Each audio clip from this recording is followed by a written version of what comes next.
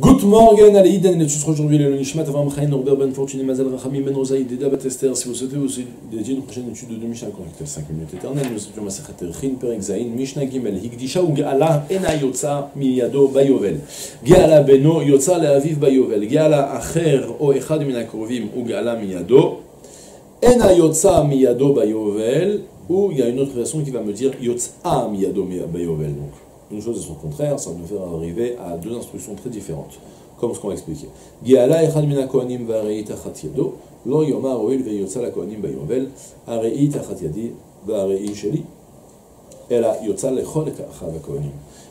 On commence à traduire directement, après on va ouvrir les psukim, découvrir de quoi on parle exactement.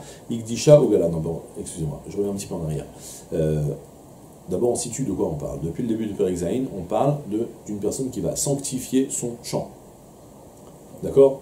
J'ai voulu, moi, donner mon champ à Hachem. J'ai dit, je donne ce champ au Gizbar, au à la trésorerie du Beth Alors le Gizbar, lui, il ne va pas commencer à mettre le, chapeau du paysan et à se mettre à labourer, non. Le Gizbar, il va le mettre en vente.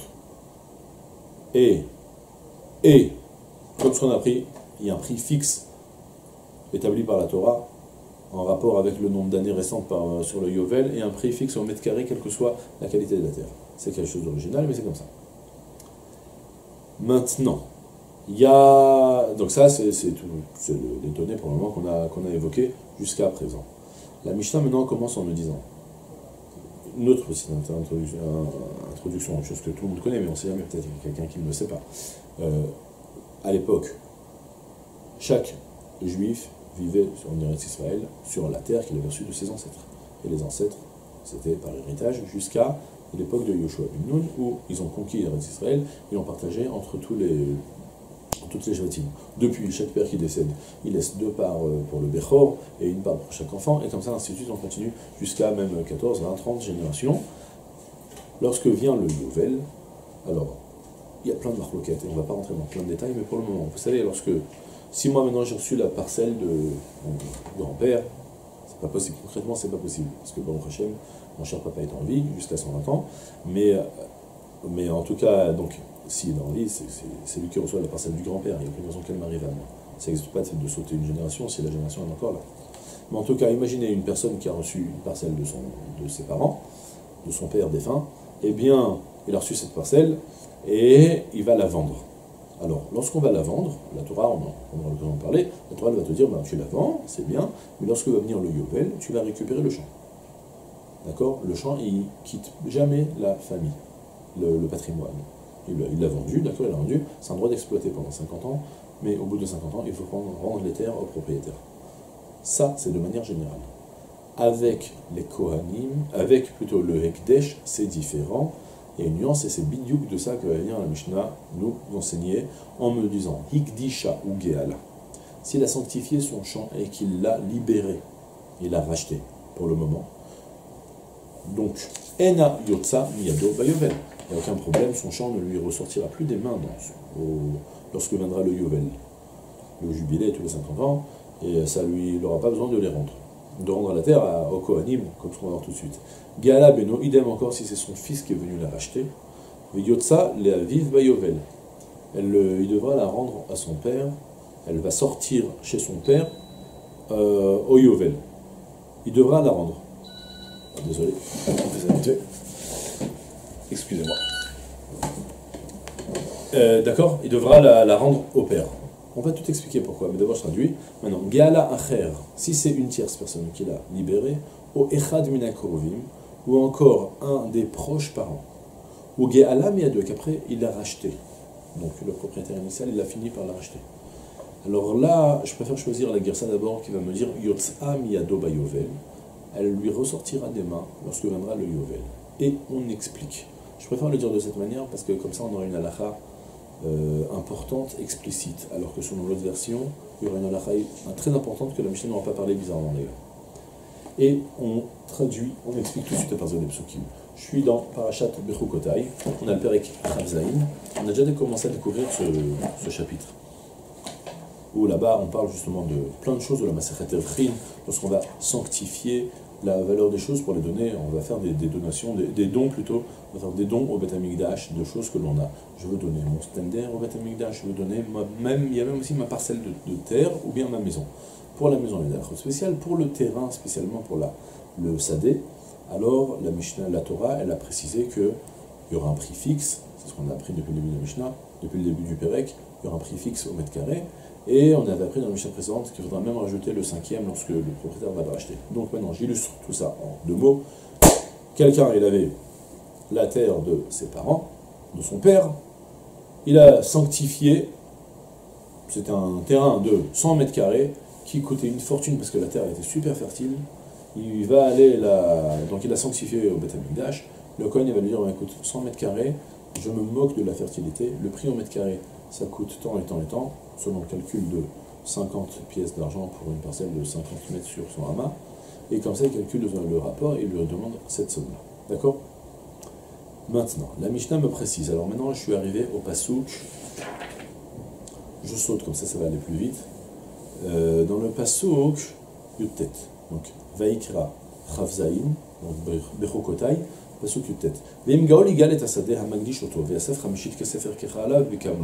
si le propriétaire du champ va lui-même venir racheter son champ, alors la Torah lui a fixé une taxe de payer un cinquième, comme ce qu'on a appris dans la mission précédente.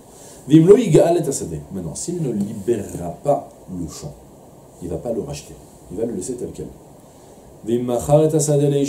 Et s'il vendra le champ à une tierce personne, à une autre personne, on parle apparemment du Gizbar, la Mishnah m'enseigne Loïgaël le terrain ne sera plus libéré.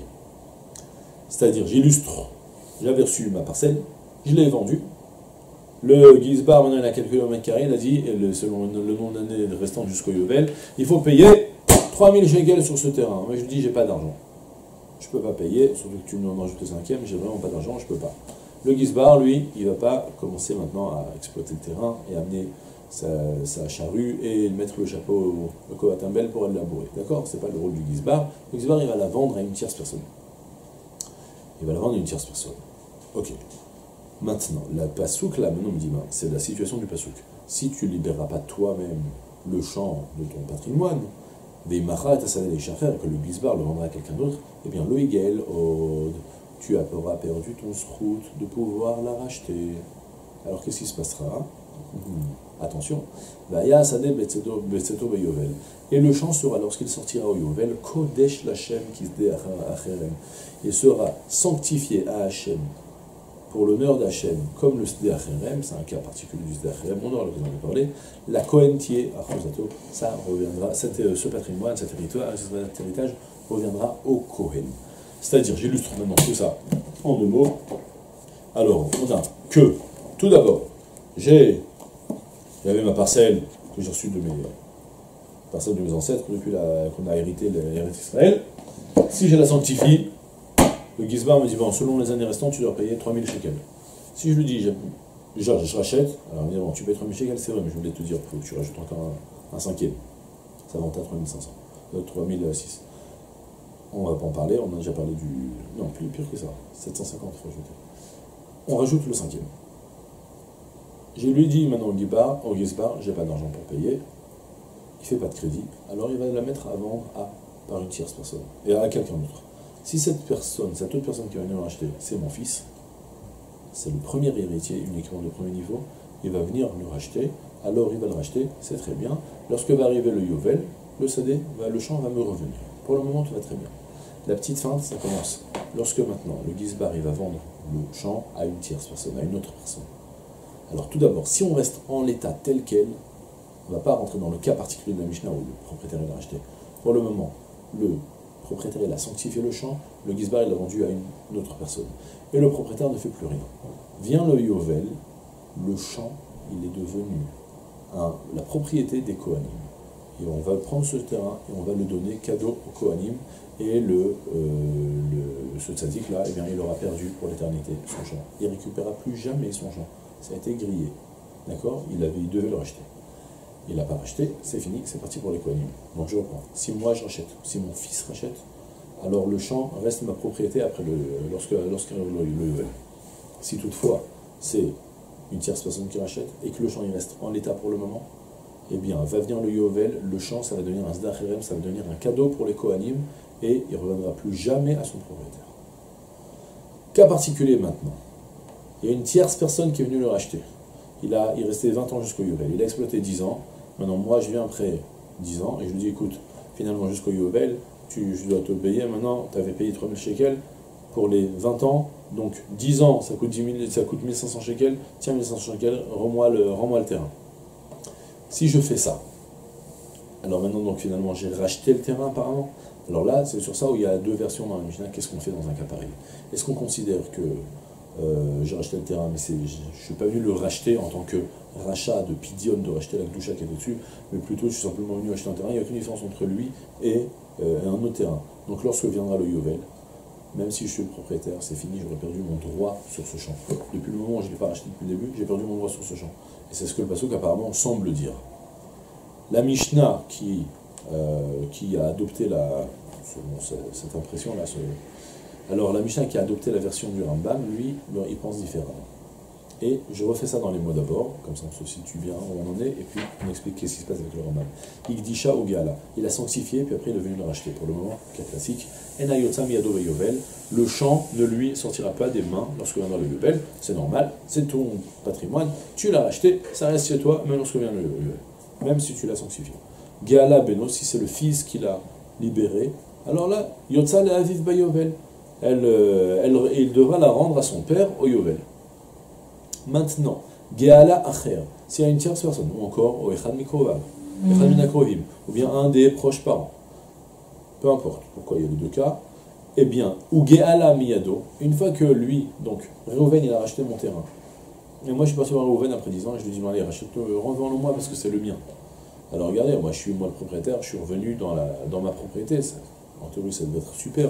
Et bien mettre comme ça, le Ramam il va dire, Ena Bayovel eh bien, le champ restera dans ma propriété lorsque viendra le Yovel. Pourquoi? Selon le Rambam, c'est parce que justement, puisque le, champ il a, il a été vendu pour le moment pour une exploitation pour 20 ans, il y a eu Réoven, il a racheté, il, a, il espérait rester pendant les 20 ans. Je suis parti le voir au bout de 10 ans, je l'ai racheté, eh bien, j'aurais euh, récupéré le champ qui est le patrimoine de, de ma famille d'avant, et donc, dans ce cas-là, il ne me ressortira plus du Yovel. Ça, c'est selon le Rambam qui nous dit Enayotzam Yado Yovel ça pose problème que d'avoir le Passouk, il n'a pas l'air de dire ça. Le Passouk, il a dit que si le Gizbar, il a vendu à quelqu'un d'autre, c'est fini, c'est grillé. Louis Gaël Aude, selon Rambam, non, on peut encore le racheter. On a parlé plutôt dans le Passouk du cas où, où euh, il n'a pas acheté et l'eau et le, et est venu la 50e année, c'est devenu la propriété des Kohanim, et bien il ne pourra plus le racheter à ce niveau-là. Comme ça, Rambam, il va interpréter le Passouk. C'était clair? Maintenant, on continue. Nafla, Geala, Echad, Mina Kohanim, Avareit, Achatiado. Maintenant, cas particulier. Lorsque le Gizbar a mis en vente le terrain, il y a eu un Cohen qui est venu qui dit Moi, je veux le racheter. Aucun problème, apparemment. Une tierce personne, ça marche. Pourquoi pas le Cohen C'est vrai, mais le problème, c'est que le Cohen, ensuite, il aura un problème. Le, un des Kohanim l'a libéré, il a racheté. Et maintenant, elle est dans ses mains, au Cohen. Lo yomar la Kohanim bayovel Ce Kohen-là ne pourra dire pourquoi est-ce que j'ai besoin de rendre cette terre au Beth pour qu'il le repartage avec tout le Kohanim? Finalement, le but, c'est que ça arrive à un Kohen. Moi, je suis moi-même Kohen. Eh bien, c'est parfait. Je, cas, moi, je vais garder, puisque moi j'ai racheté le champ, je le garderai pour l'éternité, étant donné que, euh, que maintenant, même ce qui n'est pas à moi, ça me revient. Alors, ce qui est déjà à moi, pourquoi ça ne me resterait pas dans les mains? D'accord C'est le principe qu'on aurait pu croire. Donc, je reprends dans les mots. Et c'est pas comme ça. Un des Kohanim est venu et a racheté le, terrain qui a été sanctifié. Et maintenant, elle est restée dans ses mains. L'Oyomar, il ne pourra pas dire ce Kohen. Puisque de toute façon, les Kohanim récupèrent ces champs qui ont été kadosh. Les Kohanim, ils les récupèrent au moment du Yovel. Et dans ce cas-là, là, ici chez moi, et là maintenant, il est en ce moment dans mes mains, alors il restera à moi. Comme ça, le Kohen pourrait dire. Non, eh bien, il ne pourra pas le dire. Il devra nécessairement le rendre à tous ses frères Kohanim et qu'ils se fassent le partage. Là, donc c'était clair, j'avais mon champ, je l'ai sanctifié, je ne l'ai pas racheté, un Kohen est venu le racheter. J'ai plus affaire avec le Kohen, le Kohen il exploite pendant jusqu'au Yovel. Vient le Yovel, qu'est-ce qu'on fait? Le Kohen me dit, la Torah me dit, ben, Le Kohen aussi, tu prends ce champ, qui était un champ sanctifié, tu le redonnes à tous les Kohanim et qu'ils le repartagent. C'est tout pour aujourd'hui. Je vous souhaite une journée pleine de la